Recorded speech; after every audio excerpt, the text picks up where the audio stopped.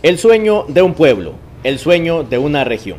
Se vienen los 90 minutos del juego más importante en la historia del Municipal Pérez Celedón. Se vienen en solo 24 horas en Heredia. El equipo ya está en la capital, pero antes tuvo su despedida, su homenaje. La afición les mostró el cariño y les compartió la esperanza de que en la próxima vez que estén en el Valle del General serán llamados campeones del fútbol nacional. Con mensajes en una bandera les pasaron las buenas vibras a los jugadores y cuerpo técnico, y es que las camisetas azules tiñeron el parque de San Isidro del General este viernes. Las banderas también ondearon. Desde el mediodía los aficionados llegaron al parque para esperar a los jugadores. Pasaron los minutos y a lo largo el autobús apareció desbordando la emoción en los aficionados. Y luego las voces de aliento, las fotos con los futbolistas, los autógrafos. Había que guardar el momento para el recuerdo. Los aficionados tienen fe, confianza, esperanza y así lo demuestran en sus palabras. Desde luego, nos han dado mucha alegría y aquí estamos para apoyar. Estamos para ser campeones, vamos, el equipo está muy motivado. Yo pienso que un equipo que cuando está motivado está para grandes cosas y Heredia, está asustado, sinceramente. Yo he visto las declaraciones de, los dirigentes de Herediano, ellos están asustados. Yo siempre he ido con Pérez y nada me va a cambiar. Esperemos que el árbitro sea justo, ¿verdad? Eso es lo que afecta siempre y, el fútbol no es de, no es de hombres, sino es de, eh, no es de nombres, es de hombres. Entonces esperemos que, esa es la frase de él, pero esperemos que saquemos la tarea. Partido de dientes apretados, esperemos que el equipo aguante los primeros 15 minutos y, proponer como lo ha venido haciendo con, con Michel y Casal arriba, que han tenido una, una cuadrangular muy buena. Pues difícil, pero no imposible ellos han jugado muy bien, merecen estar donde están y van a ganar. Antes de un partido como el de este sábado, la ayuda de Dios es importante. Monseñor Gabriel Enrique Montero realizó la bendición a los muchachos frente a la catedral.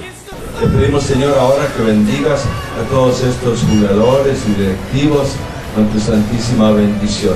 Que bendigas también esta imagen de San Isidro y esta pala Además les entregaron una pala y a San Isidro Labrador, patrono de los trabajadores, como signo de la fuerte labor que realizaron y que falta por realizar en 90 minutos que le restan a la final. La verdad es que bueno, es un símbolo de trabajo y, creo que nos sienta muy bien, hemos demostrado que somos guerreros y, lo vamos a seguir haciendo, nos queda un pasito más, nos queda el sábado intentar eh, culminar un trabajo de varios meses que se ha venido haciendo.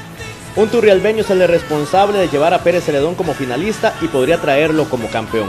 Para mí es un placer hacer esto, es bonito y un gran halago y con una gran esperanza de que vengamos campeones para atrás. ¿Usted es de esta zona? No, yo, yo soy turrialbeño, vivo en Heredia, por gente turrialba. Sapricista, pero sueño con que gane Pérez. Los aficionados tienen la estrategia para salir con la copa del reducto rojo amarillo.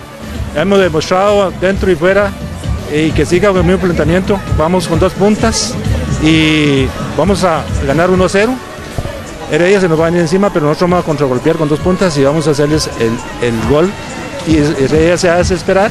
Entonces luego en el segundo tiempo vamos a meter un contención más para sostener el 2 a 0 y así traernos la victoria para Pérez de León. Y hasta los más pequeños hacen el pronóstico para el compromiso del sábado por la noche. Mi pronóstico eh, mañana es que el Pérez el primer tiempo casi terminando le meten un gol y que el Pérez terminando el partido meten a, a, un, gran joven jugador que va a ser un gran futuro, Anthony López, eh, va a meter un, un golazo y va a ser campeón Pérez. Cuerpo técnico y jugadores agradecieron el gesto de la afición y ahora esperan devolverlo con gratitud y con la Copa de Monarcas. Es algo emocionante, ¿verdad? Toda, esta gente reunida acá para apoyarnos, para darnos ese empuje que, que obviamente necesitamos siempre. Muy contentos, es una alegría muy, muy bonita que, el pueblo de Pérez de León se merece. Este, estamos muy motivados y, Dios primero ir mañana a hacer un gran partido.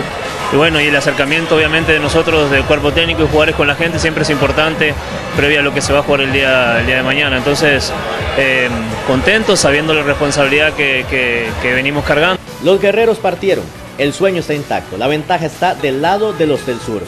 Lo que está garantizado es que la fiesta fue grande en la despedida y la afición los espera con otra fiesta, la fiesta de campeones.